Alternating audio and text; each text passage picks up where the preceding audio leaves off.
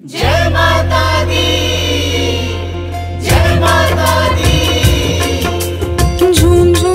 मग झूम रही है माता के दरबार में।